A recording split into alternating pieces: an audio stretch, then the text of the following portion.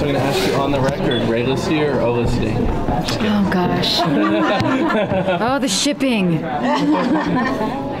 I'm staying out of it. So Iris is the only character now who does not know Barry is the Flash. How does that feel? It feels just how you would think it would feel.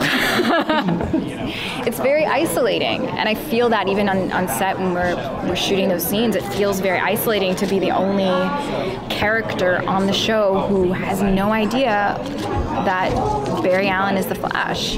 Um, but I think it sets Iris up to be very frustrated and devastated when she does find out.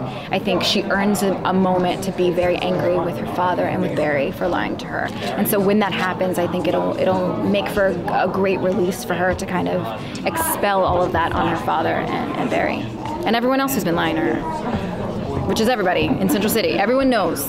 Everyone. The postman. Is she gonna hold it against her own boyfriend? Um, I mean that's a that's a good question. I think I think she'll hold it a, a little against everyone.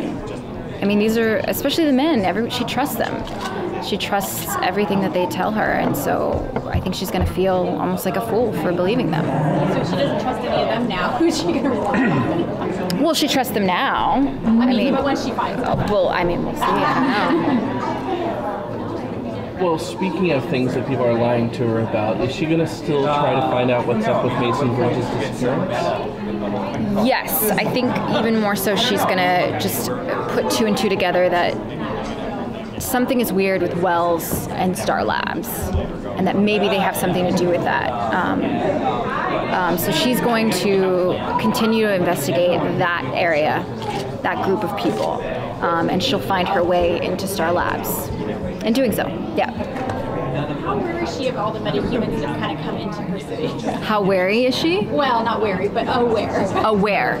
I mean, she's she's aware to some degree. There was Girder, right? She was, you know, blogging about Firestorm. She had the blog about some of the metahumans. So she's aware. She's very aware that weird things are happening in Central City. I don't think she's aware that it's happening exponentially. That there's tons of metahumans that have been affected by this particle accelerator. I think once she kind of um, figures out what's going on at Star Labs and that Star Labs had something to do with the particle particle accelerator exploding, I think she'll be kind of caught up, like Barry and, and Caitlin and Cisco, that things are really bad in Central City, and it's going to take a team of people to fight these metahumans. Since she knows there's a flash out there, you think her reporter instincts would just drive her to find out there's got to be more than just him and her, and maybe there's now like a I don't know contagion or something. Yeah, I mean, she's been pushing to kind of write about the Flash at the paper, right? But you know, her bosses want her to. Yeah, I mean, there's other things that she's interested in. You know, she doesn't want to just be known as the Flash girl. Um, I think it's important for her to kind of find her own independence at work and be valued, other than like who she knows, and especially the men that she knows. She's always kind of being, you know, recognized for her relationships to men, and I think she wants to kind of stand on her own. That's good.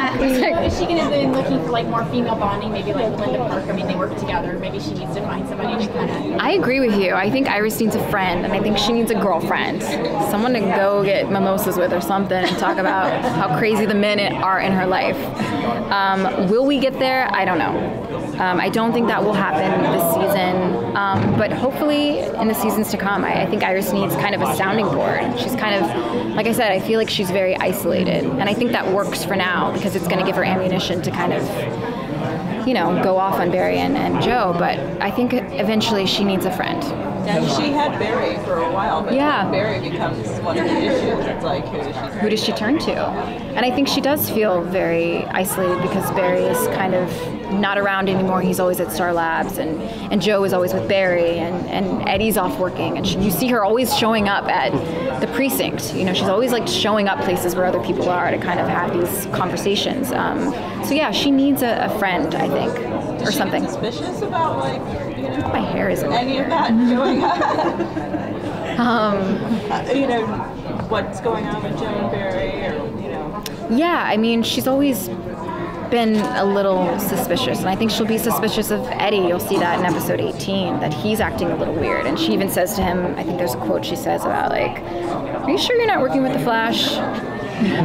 she's starting to put two and two together that you know he's solving crimes a little too quickly and she's just kind of you know wondering if he knows the Flash, if he's working with him, and if he knows she if he knows who he is. Um, so yeah, she's always kind of while we see her kind of say yes, everything's fine, and I, I, am believing everything you're telling me, I think Iris is always in the back of her mind curious and still questioning if what people are telling her is the truth. Have you thought about the implications of what might happen if Barry goes back in time and saves his mother and what that might mean for Iris? Yeah.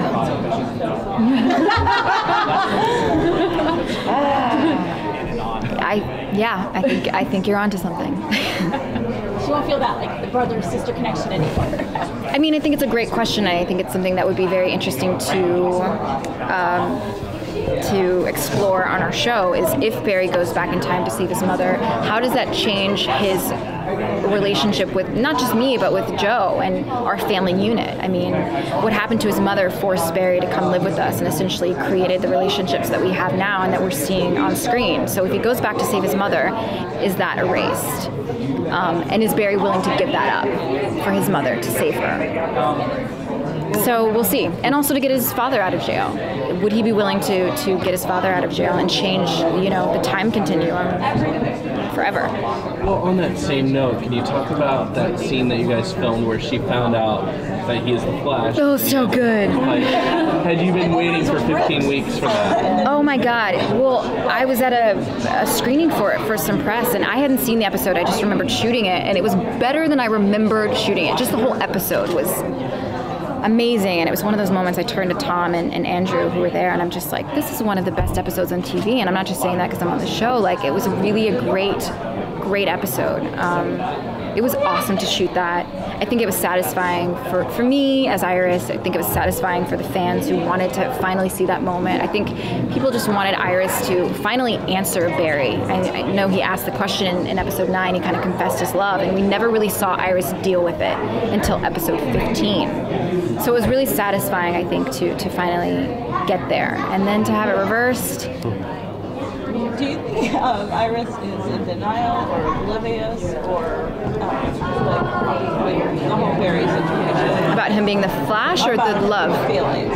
I don't think she is anymore now that he's told her. But I think it's done nothing but cause problems for her in terms of, you know, she's not ready to deal with having feelings for Barry. Um, she's in a relationship with Eddie, and he's a wonderful man. You know, he's done nothing wrong to her. He doesn't beat her. He actually treats her very well, and he's loving. And so she can't just, you know, dump him and run off with Barry. I think that relationship needs to end well, and that will potentially, you know, open her up to, to dealing with her feelings for Barry. I think right now she just cannot she can't deal with the potential that she has these feelings for Barry. Which of the scripts, when you open up your script, which of the scripts of this whole season has excited you the most or surprised you the most? 15 was one of those moments where I just like threw it across the room and I was like, what? Um, there's another one more recently too. I feel like it was 21, 20 or 21. The last just three episodes are all great. They're all kind of um, exciting. And we kind of end with a really big bang. 23, of course, is, is great. We deal with a lot of the issues that I think fans have been waiting to be answered in 23. It's been implied that episode, I think, 20 or 21 revisits that timeline from number 15. Does that mean we might see some more West Allen? The timeline for 15. It's so hard to remember because we're shooting 23, so to go back to 20, like. The timeline in which Barry told Iris I will tell you this: we don't revisit that scene. Okay. So anything else, I've forgotten about. um, but yeah, Okay. yeah.